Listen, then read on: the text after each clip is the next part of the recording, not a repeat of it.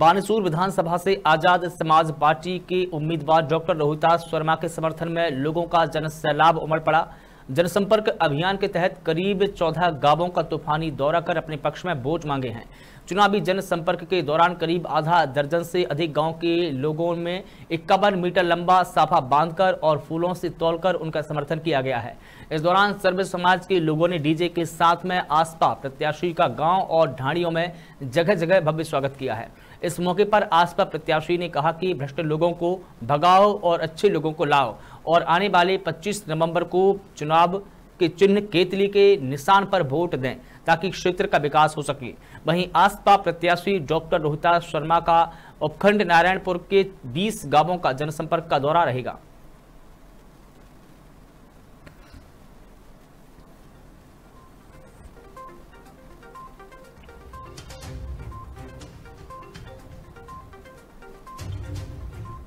आज मैं बहुत खुश हूँ कि आपने मेरा स्वागत किया, सत्कार किया। और अगर आपकी कृपा से मैं विधायक बन जाता हूँ तो मेरी जो दुकान है, आपको पता है, कोई पटचूनी की दुकान तो लगाता ही नहीं, मैं तो थोक की लगाता हूँ। तो एक बार आप दुकान की परमिशन दे दोगे तो थोक की लगेगी तार मर्ज़ी आओ, जो माल ले लेना, सब मिलेगा। तैयार